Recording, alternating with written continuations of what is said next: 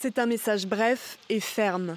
Joe Biden veut donner toutes ses chances à la diplomatie avec la Russie, mais sans relâcher la pression face au risque d'attaque russe contre l'Ukraine. Nous ne savons pas si les unités militaires russes rentrent en effet à leur base. Nos analyses montrent encore que les Russes restent dans une position menaçante.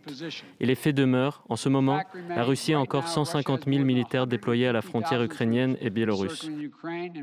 Une invasion reste totalement possible. Ces troupes sont désormais évaluées à 150 000, alors que les Américains parlaient jusqu'ici de plus de 100 000. Quelques heures plus tôt, Vladimir Poutine avait annoncé un début de retrait des soldats russes massés depuis plusieurs mois aux frontières ukrainiennes. Sur ces images fournies par l'armée, des blindés sont chargés sur un train pour être rapatriés.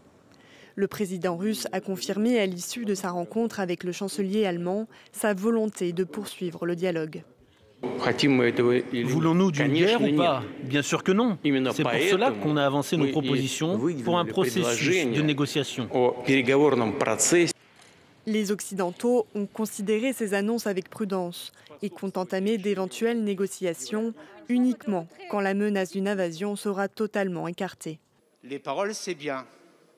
Nous attendons les actes si les actes sont là, ce sera encore mieux. Ça, c'est la première priorité, la désescalade. La deuxième priorité, vous le savez bien, monsieur le député, c'est de reprendre les discussions sur euh, le contentieux sur l'Ukraine. Joe Biden affirme que des sanctions sont prêtes en cas d'invasion de l'Ukraine.